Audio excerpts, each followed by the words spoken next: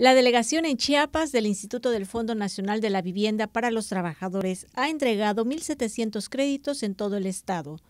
En el cumplimiento al 100% de la meta programada para el 2017, Tuxtla Gutiérrez y Tapachula son las ciudades que encabezan la lista de más créditos canalizados. Traemos una derrama económica de 1.500 millones de pesos aproximadamente que dimos el año pasado y ahorita vamos como una tercera parte.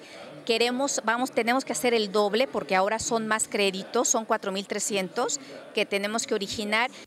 Este año el monto de los créditos se incrementaron por lo que en lugar de que el trabajador adquiera una casa de 300 mil pesos, ahora puede aspirar a una vivienda de 350 a 380 mil pesos.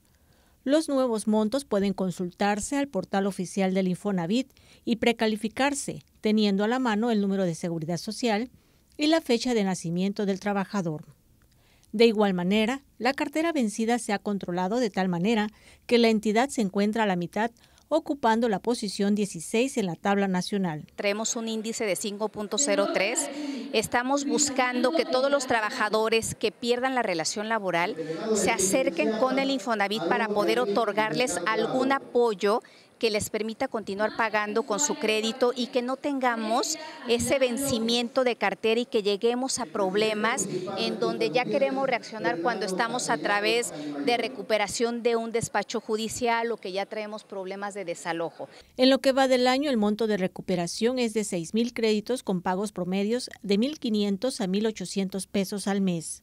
Además, se pueden firmar convenios de reestructura de la deuda para los trabajadores que deben más de tres mensualidades y se pongan al corriente.